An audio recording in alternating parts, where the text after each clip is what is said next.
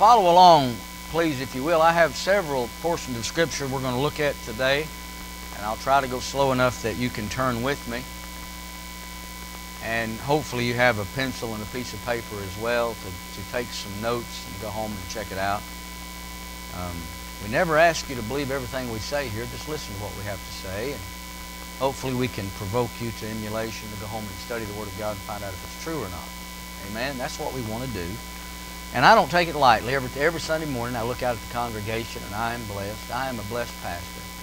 Uh, folks, they come and then they come back and then they keep coming back. And, and, and, I, and I, I just look up to heaven and thank the Lord for trusting us here at the Faith Baptist Church to add people like you to this congregation. It's wonderful. You come to get fed, and that's what I want to do this morning. I want to try to feed you. And Brother Dana uh, had a good theme in his in his music program this morning about God revealing Himself through creation, through uh, conscience, and through the Word of God. And we may touch on that just a little bit today, but if not, maybe tonight. Uh, but um, we want to talk about um, uh, revealing the righteousness of God today. Revealing the righteousness of God. And I, again, I hope everyone has your Bibles, and we're going to Romans chapter 1. Romans chapter 1. You know these verses. I want to read several that you're familiar with, and maybe some that you're not familiar with. The Bible says in uh, Romans chapter 1, verse 16, For I am not ashamed of the gospel of Christ, for it is the power of God unto salvation to everyone that believeth, to the Jew first, and also to the Greek. And if you're, and in this particular verse right here, it's anyone, the Greek is anyone other than a Jew. It's a Gentile, anyone other than a Jew. It's to the Jew first and also to the Greek, also to everyone. The gospel of the Lord Jesus Christ is to everyone, not just a select few, it's to the whole world. And we thank God for that. If we didn't hear the gospel, you and I would be lost. Those of us that are saved, if we never heard a clear presentation of the gospel, we could not believe Christ and have His righteousness imputed to our account and be saved and go to heaven. So thank God for the power of the gospel of Christ. The Bible said in verse 17, For therein, that is within the gospel. And anytime you preach the gospel, you need to reveal the righteousness of God. For therein is the righteousness of God revealed from faith to faith, as it is written, the just shall live by faith. Uh, it's so easy for preachers to get up here and say some real good things and then hammer on the gospel saying the gospel works, the gospel's good. But how many times have you been sitting in a congregation that no one's ever explained the gospel? The gospel's good, but what is the gospel? The gospel's right, but what is the gospel? Why do you say that a man has to hear the gospel if no one ever explains the gospel? The Bible says the, the, the I'm not ashamed of the gospel of Christ, for it is the power of God unto salvation to everyone that believeth, to the Jew first and also to the Greek. For therein, therein, within the gospel, therein is the righteousness of God revealed from faith to faith, as it is written, the just shall live by faith. Now, we understand the gospel is the power of God unto salvation, and so for anyone to pervert the gospel or to distort the gospel is beyond devastation. Is, and, and what brought this message about, I think, probably because of the political uh, arena that we're in today and watching everything on TV and, and, and people coming up to me saying, well, they say they're a Christian or this one says they're a Christian. Well, everyone that names the name of Christ is not a Christian. It's, it's not a Christian. Uh, a particular denomination we had run uh, about eight years ago claimed to be in a Christian camp and that mainline denomination that he was in denies the deity of Christ, denies uh, a literal heaven, the abode of God, denies a literal burning hell or a lake of fire. Uh, totally deny the Scripture, and then they go as far as to write their own Scripture and say that this is not enough, and they produced a, uh, a book called The Pearl of Great Price and uh, uh, other books to try to enhance and tell you that it supersedes the Word of God. That's, that's not Christian. That's, that's not Christian, brother. It's, it's just not Christian. And then on the other hand, you have people that say, well, they must be a Christian because they love God and they pray. Well, let me read some scripture to you. Uh, the Bible says over, take your Bibles, go with me again to Matthew, Matthew chapter 15. Hopefully you'll follow along. Follow along. there's some sweet people walking the face of this earth that are not naming the same um, Jesus of the Jesus of the Bible. Uh, to deny the Lord Jesus Christ, to deny what He says in His Word is a literal hell, and to add anything to Calvary, to add anything to what Jesus Christ did on Calvary for salvation of mankind, is not a true gospel and people are preaching another Jesus and another gospel. Now this is this is serious. This is serious. It's nothing to nothing to play at, and it's not a sermon today just to start bashing people. We're just looking at the gospel and the righteousness of God revealed through the gospel, and along the way we're going to pick up. Uh, hopefully, you'll by knowing the truth, you'll you'll be alerted to what's always false. Uh, it'll, it'll something will go off in your mind, and you say, "Well, that's not the gospel." we, we have we have people right here in Milton, Florida, even catering to uh, uh, to people that are not preaching the gospel, preaching a, a false gospel, preaching another Christ, uh, adding things to the gospel of Christ. And when that happens, the Bible says, did I say Crossville? Oh, I didn't. I said Milton, didn't I? Okay. All right. Just make sure I'm right. I know it. I know it. I'm I'm not in Tennessee mode today. All right. I thought I said Crossville because uh, I, was, I pastored up there for like 21 years, and I can't help but sometimes relate back to some instances that happened up there. But anyway, I'm in Matthew chapter number 15. Matthew chapter number 15. Uh, the disciples became offended, or the Pharisees became offended at what the Lord said in verse number 12. Verse number 13 of Matthew chapter 15, the Bible said, But he answered, the Lord answered and said, Every plant which my heavenly Father hath not planted shall be rooted up. Let them alone. They be blind leaders of the blind. And if the blind lead the blind, what's going to happen? Both shall fall in the ditch. Did you know that there's religious people today making a, a twofold child of hell out of people more so than themselves? They're on their way to hell. In the Bible, the Lord Jesus said this. I didn't say it. You're making a twofold more child of hell by feeding them false doctrine, giving them just enough religion to make them uh, to make them look look like they're a, a, an upstanding, fine young man in the community, but you're making a twofold child of hell out of them by giving them false gospel. Why? But they're dependent on something they can do, rather than what Christ has already done. On the on, and this is very important. This is very very very important. If the blind lead the blind, both are going to fall in the ditch. The Bible makes it very clear that there is one gospel and not another. That is one gospel that, that reveals the righteousness of God, brings salvation. Go over to Galatians, if you will. Galatians chapter 1. Galatians chapter 1. Um, you can't you, you can't govern what comes out of a man's mouth, but you can govern if it's within if it's within your means and within your power, you can govern who you have in here. Amen. You follow what I'm saying? You can you can govern who you have behind a pulpit. You knowing the truth can make a choice on who you're going to sit under and listen to. You, you can. All right, now Galatians chapter 1. Galatians chapter 1, verse number 6. The Bible said in verse 6, I marvel that ye are so soon removed from him that called you into the grace of Christ unto another gospel, which is not another. Now you understand that. He's not contradicting himself right here. He was talking about the gospel that reveals the righteousness of God. There's only one. There's only one. But people are claiming that they have a gospel and you and I both know that that is totally another gospel. That's not the gospel of the Bible. So it says, which is not another, but there be some that trouble you and would pervert the gospel of Christ. But though we or an angel from heaven preach any other gospel unto you than that which we have preached unto you, let him be accursed. As we said before, so say I now again, if any man preach any other gospel unto you, than that ye have received, let him be accursed.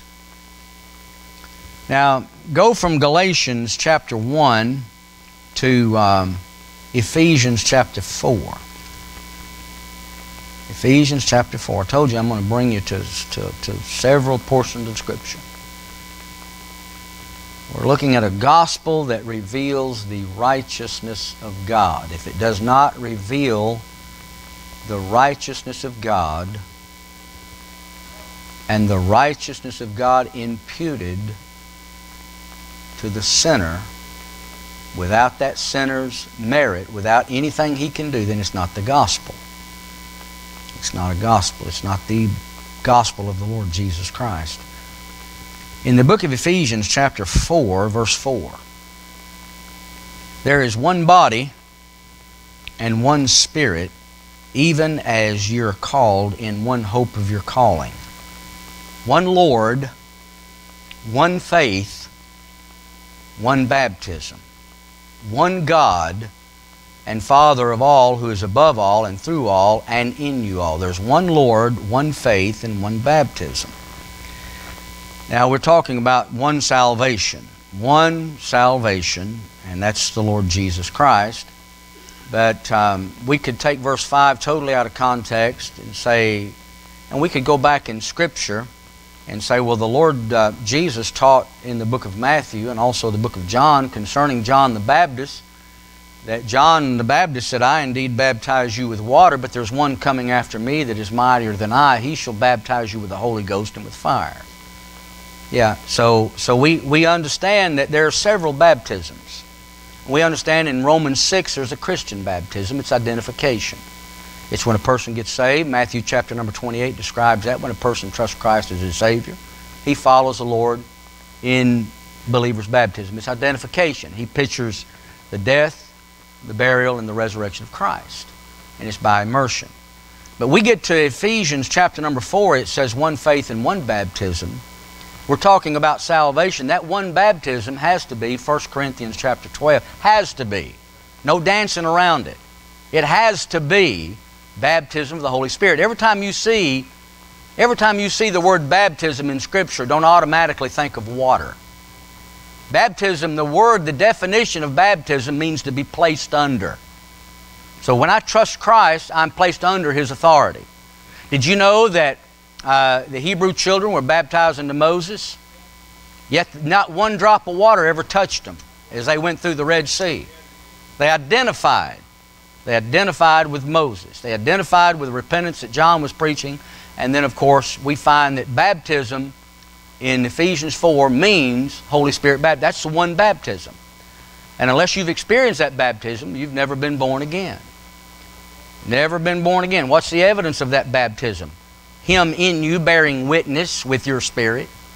The Word of God bearing witness with you. It's not tongues. There's a church right up the street right here saying that it's tongues. It's evidence of your salvation. That's not true. Especially in the context they put it in today, which is nothing in the world but babbling.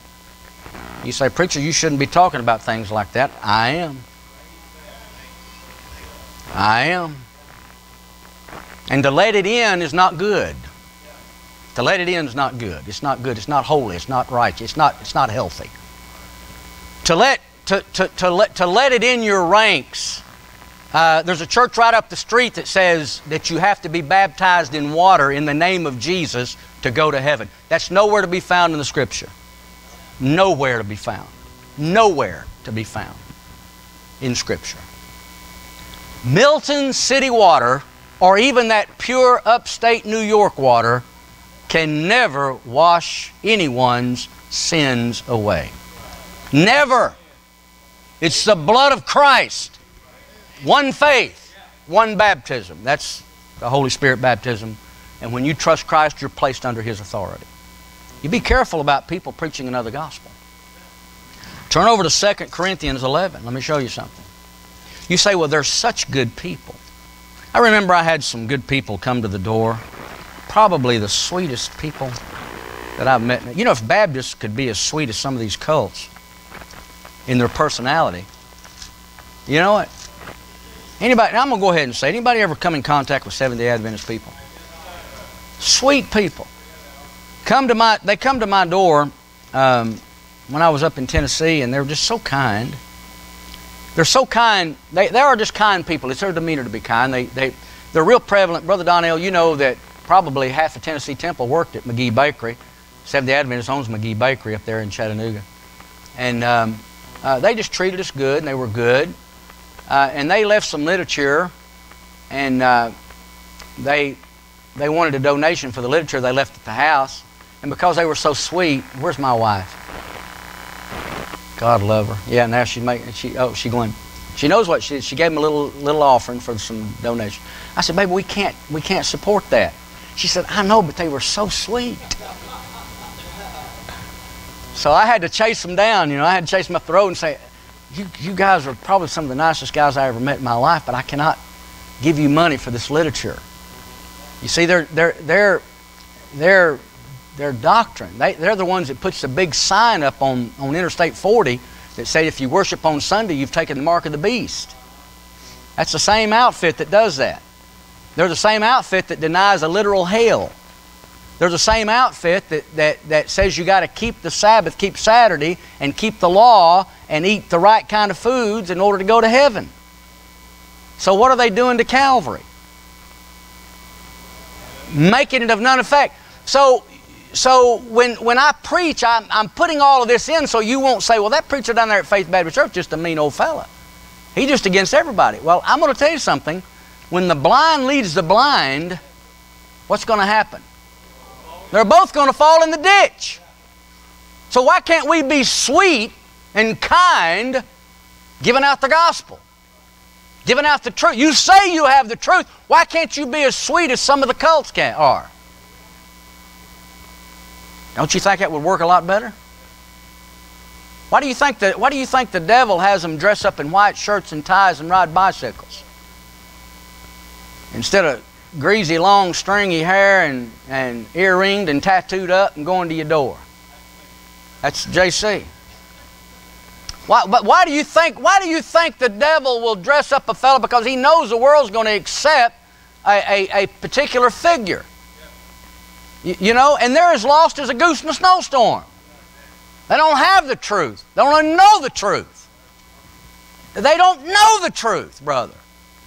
And so if give it, but if you can give the truth in a tender manner, are you in 2 Corinthians chapter 11?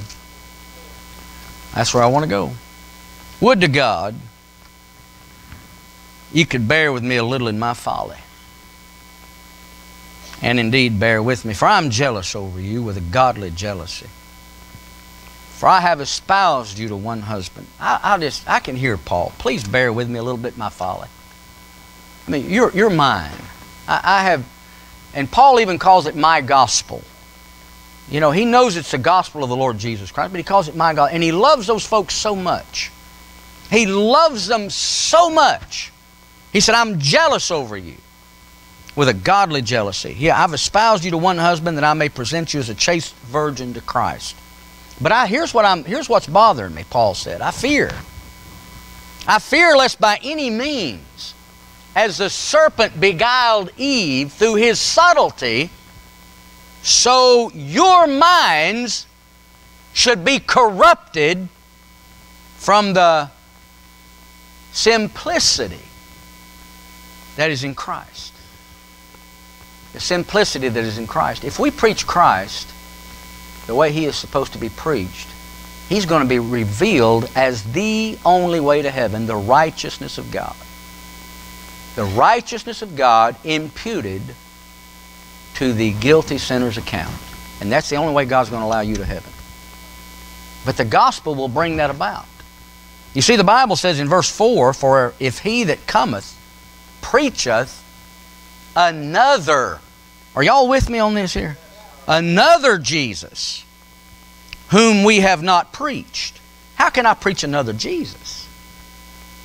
Jesus plus water baptism, Jesus plus tongues, Jesus plus keeping the Sabbath, Jesus plus doing anything in the flesh to gain audience with a holy God. When I've done that, I've made the cross of Christ of none effect. But if I preach Jesus and Jesus alone, God reconciled the world into Himself in the person of the Lord Jesus Christ, It reduces you down to a state of humility and it exalts Almighty God. It takes you out of the equation of your salvation. That's hard to do. That's hard to get a man to think that he's nothing. Without me, Jesus said what? You can do nothing. For, for, for a preacher to get up, or a speaker, or a teacher, or anybody, or a soul winner to get up and try to convince men and women that there's nothing, not one thing in them that they could ever, ever, ever offer a holy God. Nothing. Because from the top of your head to the sole of your foot, you're like a putrefying sore. You can't even be mollified with ointment. And for, for someone to get up and say you don't have anything in you to offer God, well, your natural reaction, you don't know me. Who do you think you are? Well, if I was preaching anything else, I'd be preaching another Jesus. You see that? Another Jesus whom we have not, let's finish out verse 4 whom we have not preached, or if you receive another spirit which ye have not received, or another gospel which ye have not accepted, you might well bear with him. Need to perk up. The blind lead the blind. Both of them's going to fall in the ditch. So with so many today, with so many people today, and everybody's candidate that's running, I've been watching, I, it almost makes you want to cut the TV off. With everybody running, everybody's a Christian. One fella gets up and says, I'm a Presbyterian, can you believe it? The other one gets up and claims this, and the other one gets up and claims that. Everybody claiming to be a Christian, somebody's wrong. Did you know in Milton, Florida, drive up Highway 90? Drive up Highway 90. You got, you got this corner, starting at this corner right here, Faith Baptist Church. Across the street, you got Vineyard. Go up the street a little bit ways, you got uh, apostolic outfit. You got this one this way. You got that one that way. You got right on up the street, you got an assembly. Right up this street, you got you got a, a, a, a yeah, yeah, let me, let me tell you something, folks. Let me tell you something. You figure it out. Somebody's wrong. Not everybody's right.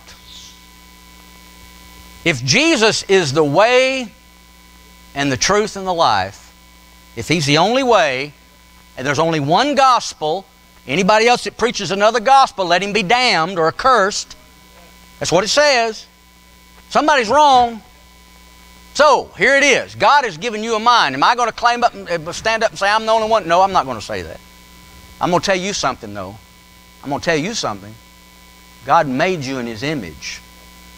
He gave you a body, mind, and spirit. And you've got a mind. And you've got understanding. Somebody came up to me the other day and said, I, I'm, I don't know if I have it in me. That I have maybe may, may have a physical problem, they said. And I don't know if I have the ability to understand.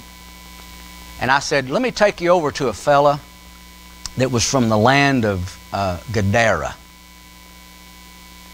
And when he met the Lord Jesus Christ, all of that craziness left him when he stood in the very presence of Christ. God began to put the wires back together. If God can get his mind where he can make an intelligent decision concerning Christ, he can you too. He can you too. And so my, my, to finish my statement is God has given you a mind. He's given you the Word. The Word is of no private interpretation. You can open it and you can read for yourself and you can make an intelligent decision. Come now and let us reason together based on what the Lord said. Is He, in fact, the righteousness of God? With so many people today preaching a false gospel, people are actually considering them as a legitimate choice. A false gospel, I've seen it. I've seen it. I've seen it. I've stood at deathbeds and seen what a false gospel can do to people. A false gospel takes people up to their deathbed still crying for mercy Still crying for. I've seen it. I've seen it, and, and the whole time trying to explain that Christ is the righteousness of God. See, the gospel is the good news. Good news, good news of the Lord Jesus Christ. Everything about Christ is gospel. But the crux of the gospel is how that God became a man. In the Bible, if you want to see a perfect picture of the righteousness of God, you can go to 2 Corinthians chapter 5. And you can go to verse number 19 and it'll say, To wit, that God was in Christ, reconciling the world unto himself, not imputing their trespasses unto them, and hath committed to us the word of reconciliation. That's what we're doing right now. We're, we're giving you the word of reconciliation. All right, now God became a man. God became a man, and all just all of the sin here, what, 200 people here. All of the sin, just take your sin and multiply it by 7 billion. And then go on back to Adam from all generations up to the last man born. All sin was laid on the person of Christ. God made Christ, 2 Corinthians 5.21, God made Christ to be sin for us who knew no sin, that we might be made the righteousness of God in Him. All of the sin was laid on Christ, and Almighty God bruised Christ, judged Christ, until the wrath of God was appeased. God said, I'm satisfied. My son died for your sins. That's the gospel. That, that's it. He died for your sins. And in doing so, when he rose again without sin, and he's at the right hand of the Father, did you know what he did? He moved that enmity, that this enmity that was between me and God. He took it out of the way, nailing it to his cross, and reconciliation has already, already happened. Why don't you believe it? That's the message, is believe it. I can come as close as I want to through the throne of grace because of the reconciliatory work of Christ. Because of what He did for me. Peace was made. Reconciliation was made. All right, now, God said in 2 Corinthians, and I'm going back just a little bit, 2 Corinthians chapter 5, that He would not impute to you your sin, your, trans, your, your trespasses. Why, why will God not impute to you your trespasses? Because He imputed them to Christ. Christ paid for them. He won't impute them to you. If God ever imputed to you your sins and trespasses, you'd be doomed and damned. But He imputed them to Christ, and Christ bore that, that, that, that sin, and he, he paid the penalty for that sin. And so the message today is receive it. To as many as received Him, to them gave He power to become the sons of God even them that believe on His name. The moment that I see myself as going to hell and, and deserving to go to hell, and realizing that God became a man and took my place and satisfied the demands of a holy God, the moment I believed that, you know what God did? God imputed to me. Imputed means He laid it to my account. He'll lay it to your account, the righteousness of His Son, and tells you you can go to heaven. Is that good or what? That's worth getting excited about. Now, my question is Have you ever trusted Christ as your Savior? There's a, there's a lot of gospels out there, but there's only one gospel. There's only one gospel that reveals the righteousness of God. That's the gospel of Christ. Christ only. Christ only. Let's stand to our feet. I hope that um, You didn't think today's message was a, uh, an attack on an individual. But let me tell you what I hate. I hate with a passion a false gospel. I hate it with a passion. My personal testimony, I was involved in religion that handed me that false gospel. And there was, that void was still there. And when I finally came to the truth of the knowledge of Christ, God opened my understanding. I've never been the same since. Never will be the same. We know we're going to heaven because of what Christ did, not what you did, what Christ did for you. Amen. Heavenly Father, thank you for the Word of God. Thank you for loving us when we were so unlovely. Thank you for a gospel. A gospel, dear God, that reveals the righteousness of God. You said, Lord, in the book of Romans, chapter 10, and verse number 4, that Jesus Christ is the end of the law for righteousness to everyone that believeth, to the Jew first and also to the Greek. Thank you for that promise and thank you for that truth. Bless, I pray, this invitation in Jesus' name. Amen.